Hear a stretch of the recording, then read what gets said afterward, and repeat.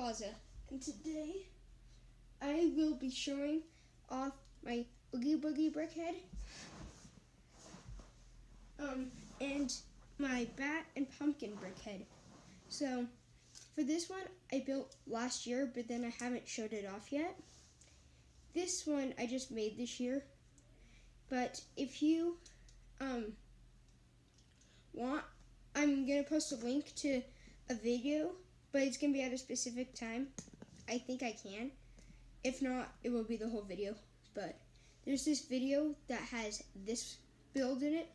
It's on this channel called Boone Builds, which is a Lego YouTube channel like as of mine, but it's more like higher quality and he's been doing it longer, stuff like that.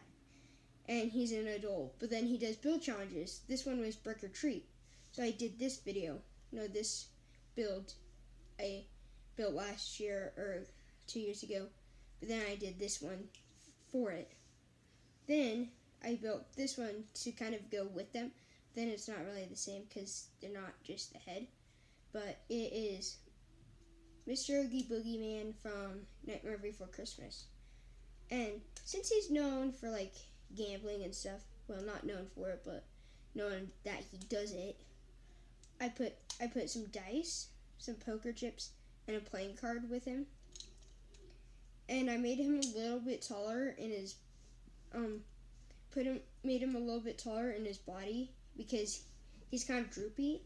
And I'm being him for Halloween so I might post a photo of it some in my one of my next videos. But or in this video I might put a photo of it. It is scary.